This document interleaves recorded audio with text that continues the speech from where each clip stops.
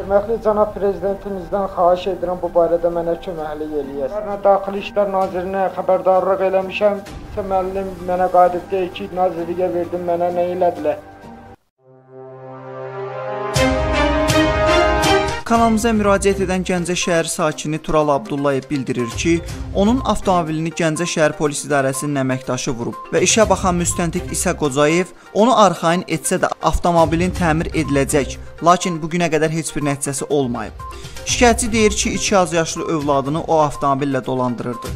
Avtomobil olmadığından artıq bir neçə aydır ki, gəliri yoxdur.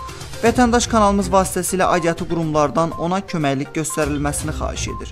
Kanal 13 olaraq qarşı tərəfində mövqeyini işıqlandırmağa hazırıq. Daha ətraflı şikayətçinin öz dilindən eşidək.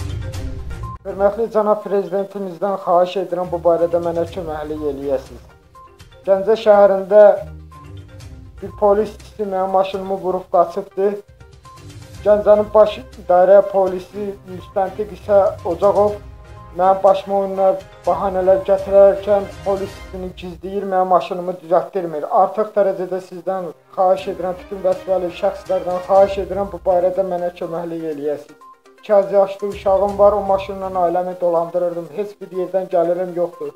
Xahiş edirəm mənim maşınımı düzəlməsi üçün bir qərar verilsin.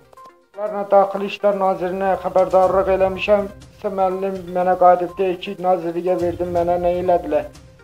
Artıq dərəcədə prezidentimizdən xahiş edirəm bu barədə mənə köməklik eləyəsiniz.